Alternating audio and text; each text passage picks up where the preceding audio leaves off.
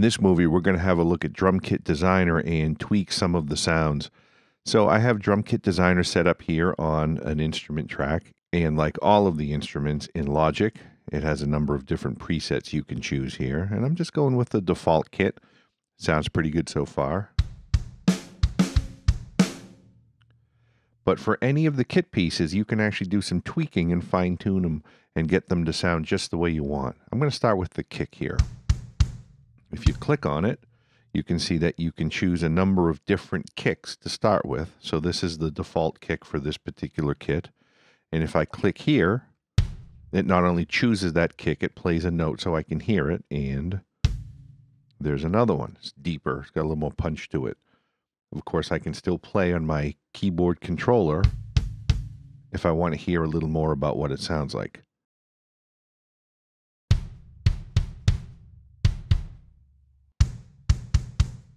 Like so. For any of the kicks you choose, I like this one for example, you can come over here and you can see you can retune it, you can dampen it, and you can turn it up or down. So let's start with tuning. It's down uh, a good bit already. I can detune it further for bigger, wider sound, or tune it up a bit for smaller, tighter kind of kick. I'm going to take it back roughly where it was.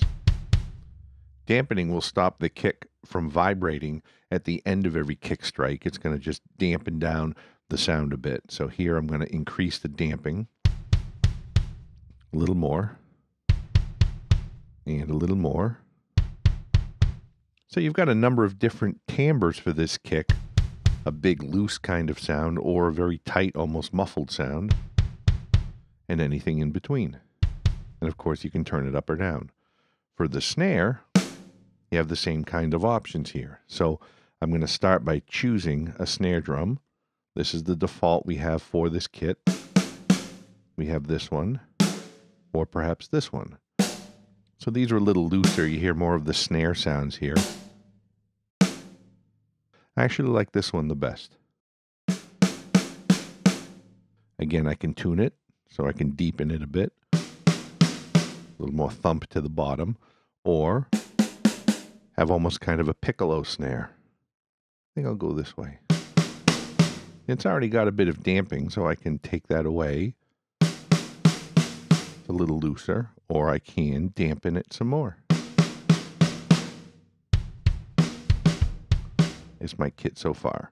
And you could do the same with the cymbals. So these are the crash cymbals here. This is the left one. This is the right one. And there are MIDI notes to play them.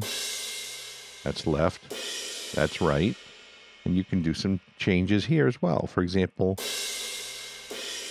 maybe I want the left crash to be a little higher in pitch.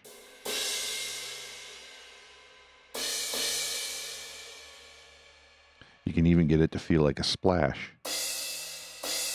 And then again, maybe it rings too long, so I'll dampen it a bit. Too much, depending on what you want.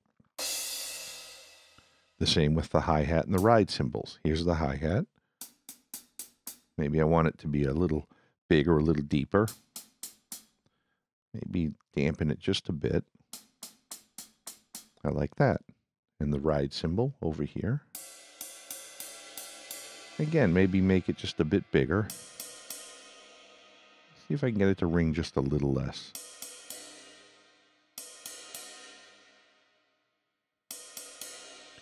Like so. Now with this instrument, there's some additional parameters here. If you click on this disclosure triangle, you can see that there's a shaker, tambourine, claps, cowbell, and sticks sounds as well. And you can find those on the MIDI keyboard and you can turn them up or down. So here, for example, there's the tambourine. Maybe we'll bring that up a bit. And the cowbell, maybe we'll bring it down a little bit. Like so. There's also a parameter called input mapping, and all that does is determines when you play a MIDI note, which kit piece in the drum kit will you hear. It's set to general MIDI, which is a standard that was defined back in the 90s that defined the C1 note in MIDI will play the kick, the D1 note will play the snare, and like so. It's typically what you see commonly implemented even today. There's also a choice to go with the V drum standard, which is a Roland standard for their V drum drum kits. And in the middle, it says GM and mod wheel controls hi hat opening level. And what this means is that you can play the hi hat, and as you increase controller one, which is mod wheel, it crossfades from a closed hi hat to an open hi hat.